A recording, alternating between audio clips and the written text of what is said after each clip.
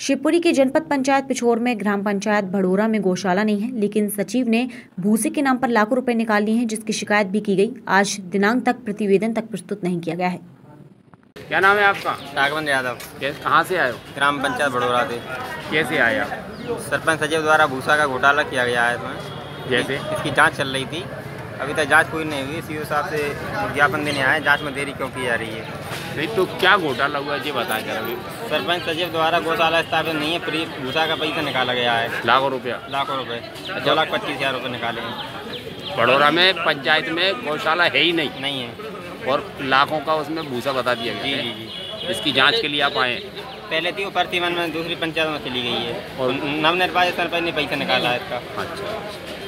तो क्या जाँच नहीं हो रही? नहीं। जाँच की आदेश जारी है लेकिन अभी तक जाँच नहीं हुई। दस मार्च तक का समय दिया गया था जाँच के लिए। हाँ हाँ। आज इक्कीस मार्च हो गई अभी तक कोई जाँच प्रतिवेदन नहीं भेजा गया उनके द्वारा।